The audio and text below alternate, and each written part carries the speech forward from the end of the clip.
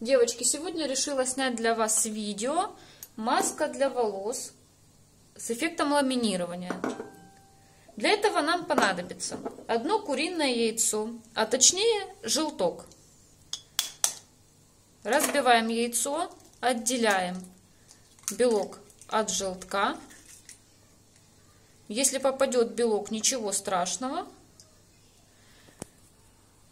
Отделили и нам понадобится еще кокосовое масло 4 столовые ложки. Кокосовое масло можно приобрести в супермаркете, аптеке или в кондитерском магазине. 4 ложки. Если волосы длинные, можно добавить немножко больше. И нужен мед. Меда добавляем 1 столовую ложку.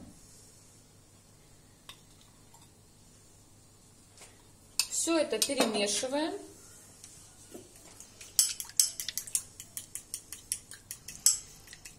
до однородности. Маску нужно нанести на влажные волосы.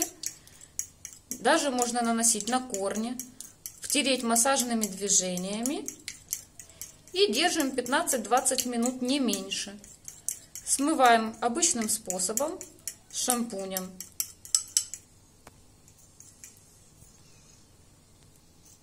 Получилась вот такая консистенция. Масло кокосовое обычно застывшее, его нужно немножечко прогреть, но не кипятить. Также можно прогреть и мед. Только чтобы ни масло, ни мед не нагревались свыше 60 градусов. Наносим на волосы, держим, смываем, и вы увидите, какие шелковистые волосы у вас будут.